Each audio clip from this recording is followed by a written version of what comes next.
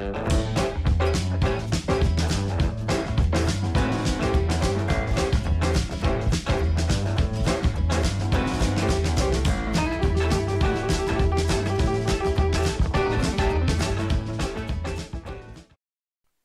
to episode 14 of Boston Swapper Director of Football Challenge here on Boston United FM. Boston United of Conference North and Boston Town of the United Counties League have been switched in the non-league football pyramid. I've taken over at United to hopefully guide them back up the divisions. However, my board have installed a perfect director of football to take control over club transfers, scouting and backroom staff. In the first season we won the United Counties League Premier Division as well as the FA Vase. Then in the second season we got a successive promotion by winning the Northern Premier League Division 1 South East. We faced the challenge of the Northern Premier League Premier Division this season and again we passed with flying colours, comfortably winning the league. We had reached the third round of the FA Cup in the last episode but unfortunately lost at home to Championship side Reading in a home replay. We've not lost a game since then and we have just two games of the season left. First up is a trip to Wembley for an FA Trophy final against FC Halifax Town. We beat our divisional rivals Whitby Town 10-0 on aggregate in the two-legged semi-final. We will then complete the campaign with a Northern Premier League Challenge Cup final against Bradford Park Avenue. We ended the season a massive 33 points clear of Nantwich Town, who also came up with us after winning the playoffs. We finished with an incredible record of 37 wins out of 42 games, scoring 127 goals. We didn't suffer defeat in our last 26 league games, winning the last 12 of them. Gainsborough Trinity suffered relegation by just two points. Grantham Town survived. Boston Town finished bottom of their league yet again, winning just three of their 38 games. They will be back at their original level next season in the United Counties League Premier Division. Will they be able to halt their slide? For the FA Trophy final at Wembley, we are missing centre back Tunji Akinola due to suspension and attacking midfielder Francisco Landim through injury. James Neild and Kwaku Oduro are our central defensive partnership, and Joe Hilton starts in the spot he's been fighting for with Landim all season. Striker Terrell Whitaker scored 42 league goals in his 38 starts. Add on 12 cup goals and he broke the 50 goal barrier. Halifax finished their season in the National League in 10th place, six points outside of the playoff places. They seem to have ended with inconsistent form, winning two of their final eight league games. They beat Burgess Hill Town in the semi finals. It's time to get to Wembley.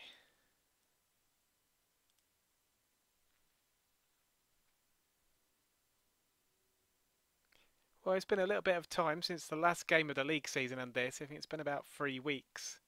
We did manage to organise a home friendly with Notts County, who finished one place above Halifax and we unluckily lost 1 0. It was really just for fitness reasons, just to keep them ticking over. And hopefully, we'll do what we've done a few times this season and beat a National League team. Right, got an early throw. Olofsson. This could be one of his last games. He did reject a couple of moves in January to go to Football League sides, and he is wanted again He's rated as a League One player, but they're coming forward with Nolan, but Siviter saves it. Right, another long throw. We've got there first. It's bobbling around, but I think we've got a penalty. Should be Whitaker to take. He has missed a few just lately towards the end of the season. But I trust him. But no, the keeper gets there. He's missed another one. Right, corner this time. Goes near post. And Oduro has got the first goal. Corner goes in. Six yards out. Keeper gets a touch on it, but he only pushes it into the side netting. And that's half time. Well, apart from the early scare, we seem to have done all right. We have gone ahead and we've missed a penalty. That may well affect Whitaker. He's not had the greatest of games so far. We have got Nibs on the bench. But for now, I don't see any need to make any changes. We've got five subs available. We can make three changes. Plus another one in extra time, I believe, if we get there. But we'll just kick off the second half.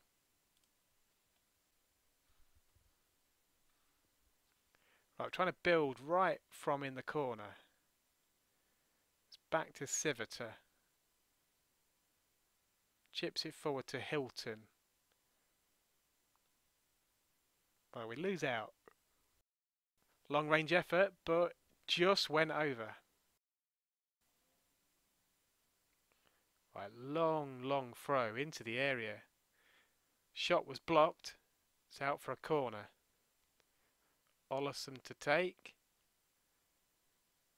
Philogene Bidace gets it back to Olofsson, but the move breaks down. Right, there's less than 20 minutes to go. I think it's time for Nibs to come on for Whitaker. He's not really been the same since the penalty miss. And I'm thinking of taking Philogene Bidace off, bringing Carrington on. I'll leave him out on that left hand side and we'll save another change for later in the game.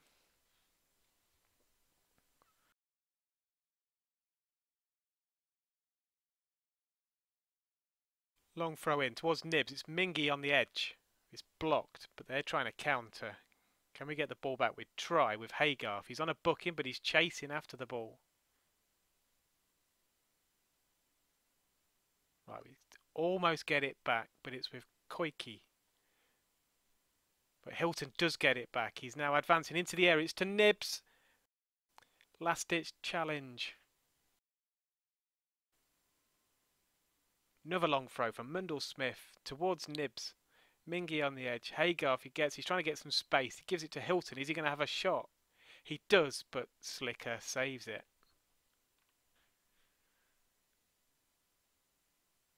Long ball forward towards Grant on the left wing. He's through. But Siviter saves it. And Oduro saves it on the line.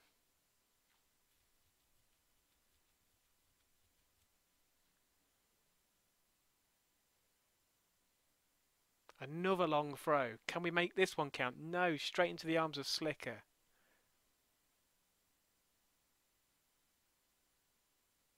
Mingy gets it back. It's with Nibs to through to Agustin. Surely, oh, he's put it wide. Right, five minutes to go. Let's make this last change. I'm going to bring Mingy off and bring Jermaine Anderson on. Right, they've got a corner. And they've scored. They've equalised. Liam Nolan. We've paid for those missed chances. And this could mean extra time. Hector Ingram with the corner. One bounce. And Nolan is there to hit it home on the half volley. And it's extra time. Something we really didn't want. We shouldn't really be in this situation. But I feel like I should take Olofsson off, but he's playing so well. And he doesn't really need to play in the Challenge Cup final that we've got in the week. So I'm going to leave him out there. He's our creative force. I'm going to leave this one change in reserve. We've only got two defenders to bring on. They're mainly fullbacks. So we'll just see what we can do. Half time in extra time. Okay, let's bring Dodgson on for Mundell Smith and see what happens in the next 15 minutes. Will it be penalties? Right, Olofsson down the right hand side. Hilton through to Nibs. He's through on goal, but the keeper saves it. What's going to happen here? Carrington picks it up. It's back to Dodgson. He's getting into the area. Left foot, but the keeper saves it again. But it's gone to penalties. We've not really got any great penalty takers out there. But Nibs can go first. Then we'll go Hilton, Olofsson, Haygarth, Agustin. Here we go. We've gone to 3D.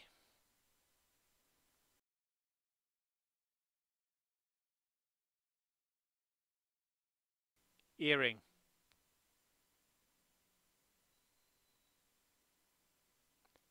And it's in. Haygarth. Crucial penalty. And the keeper saves it.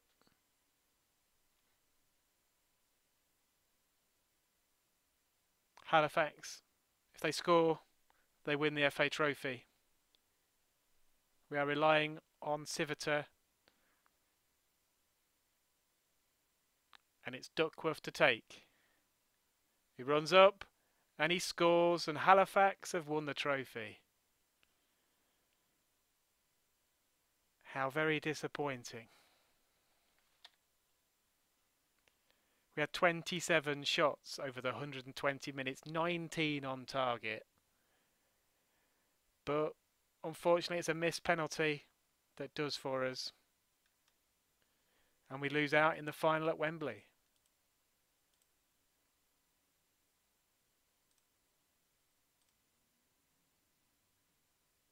Duckworth, the man who scored the winning penalty, was their captain. And it was Max Haygarth that missed. We do get £31,000 for losing in the final. We've given a little bit of that out to the squad. One more match to go. Northern Premier League Challenge Cup final. It's on a neutral ground. It's against Bradford Park Avenue. This should be one that's a little bit more straightforward to win. We'll come back for match day. And here we go. I've chosen Nibs ahead of Whitaker up front. Carrington comes in on the right hand side. Turner on the left. Dodgson on the left hand side of defence. Morrison's ahead of Olofsson because Olofsson's not quite fit enough. So we'll kick off. Right, long throw from Morris. Goes near post to Haygarth. Has a shot from outside the area, but it's tipped over for a corner. Carrington with it, goes near post.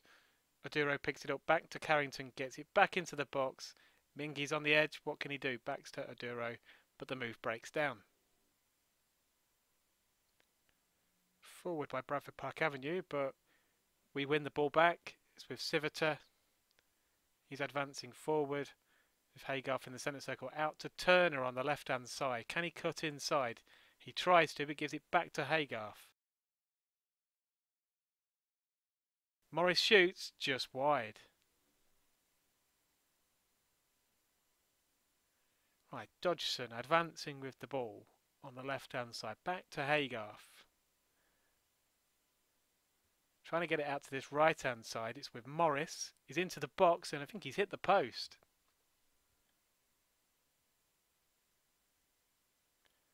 Free kick. Just outside the line. Turner shoots. It's saved. The keeper makes an absolutely fantastic save from the rebound as well. Corner. Goes near post and we've gone 1-0 up at last. Kwaku Oduro, fourth goal of the season, heads it in at the near post. Fantastic corner. Missed by our first man, but Oduro doesn't miss it. We're into stoppage time. We've got another free kick just outside. It's with Morris. He shoots and it's just wide. And that is the half-time whistle. 22 shots in that first half. We've been absolutely all over them. I don't think we're going to make any changes unless it's for fitness. But we'll just keep an eye on Oduro and Hilton and anybody who may just lose a little bit of condition in the second half. But we'll kick off. Free kick for BPA, and it's just been nodded a smidgen wide. We've got another free kick, but it's cleared. Hughes picks it up, but Morris gets there first. Carrington is now on the match into the area, is through on goal, and it's a penalty. Who's going to take it this time? It should be Hilton. Indeed it is. He steps up, sends the keeper the wrong way, and we've gone 2-0 in front. This should be it. We're miles better than they are. Hilton sends the keeper the wrong way. 2-0. Attacking throw in for BPA. It's with Francis. But Hilton takes it off him. Forward through to Nibs. He's on goal. Keeper saves it on Gongo, but he clears it out for a throw. Right, 63 minutes on the clock. Let's make a change. Let's bring Oduro off. We'll bring Mundlesmith on. He's not really a centre back, but he'll do a job for us. And then I think I'm going to bring Agustin on for Eddie Carrington. Free kick outside the box yet again. Morris again. Can he do better this time? He shoots. And again, it's just wide. Right, last 15 minutes or so. I'm going to bring Olofsson on. It's probably going to be his last appearance for us. And he might as well go out in a final. Okay, it's the Northern Premier League Challenge Cup final, but it's a final nonetheless, and we're about to win it. And there we are, full time. We have won the Northern Premier League Challenge Cup. So we are the Northern Premier League double winners. Oduro and Hilton with the goals. 35 shots in all. They didn't even have a shot on target in the whole game.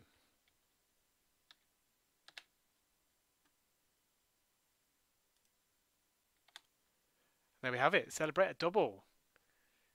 Northern Premier League Challenge Cup and Northern Premier League Premier Division. We get just under £11,000 for winning it.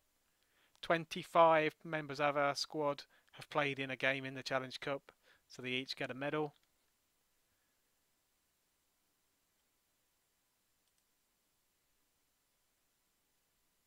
Seven and a half thousand pound paid out to the squad. And there we are, we are the winners. We'll come back in a second for some end of season awards. And they've come in. So let's have a look at the overall best 11 squad. And six of this year's team, which is not surprising considering we've won the league so comfortably, have been added to the squad. Terrell Whitaker, Francisco Landim, Tunji Akinola, Jaden Mundlesmith and Søren Olofsson, plus Max Haygarth as well. So if we actually look at the team, so there's Siviter, Morris, he's still in our squad, so he's Neild, Akinola Mundlesmith. The 11 out there is basically 10 members of this year's squad plus Mark Bragg. Whitaker goes onto the bench, as does Fabian Spies and Olofsson. Adam Hallam, he's been around since the start. Landim, he's one of the players from the original squad. And if we have a look at the statistics, so there's Hilton, he's played 157 games for us so far. Whitaker's played 61 and scored 54 goals. Bragg ended up scoring more goals than he played games. But if we look at the average ratings, Søren Olofsson, 7.78 over his 38 games for us this season. There's a reason why so many clubs are interested in him. We have a look. It's growing every week. Bristol Rovers, Charlton, Crewe. There's teams from the Championship, League One, they're all after him. If we look at his coaching report, he's apparently operating at Sky Bet League One level.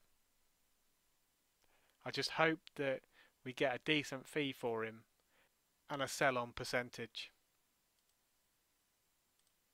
If we have a look at the awards, so unsurprisingly, Terrell Whitaker gets Fans Player of the Season. He got 50% of the votes.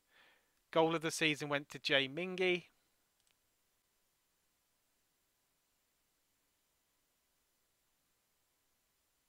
Gets the ball 30 yards out, powers it into the corner.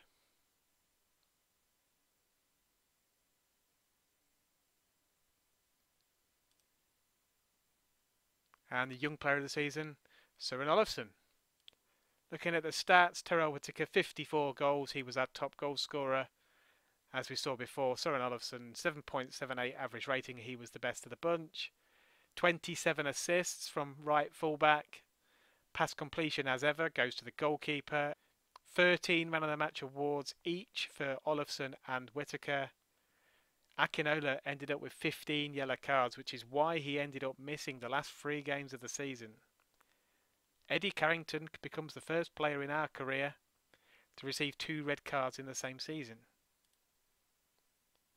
Season review, so we got through to the FA Cup third round, lost at home to Reading in a replay, lost in the final of the FA Trophy as we've just seen, but we did win the Northern Premier League Challenge Cup and Premier Division.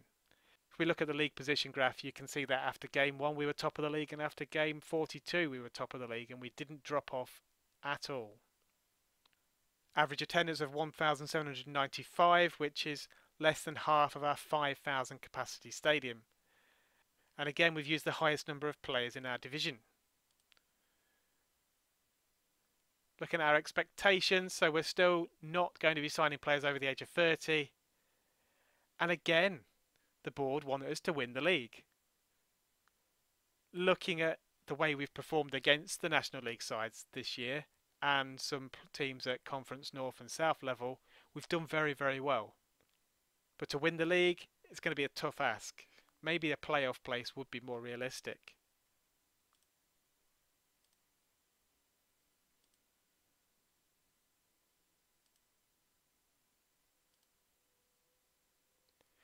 And that's the season done.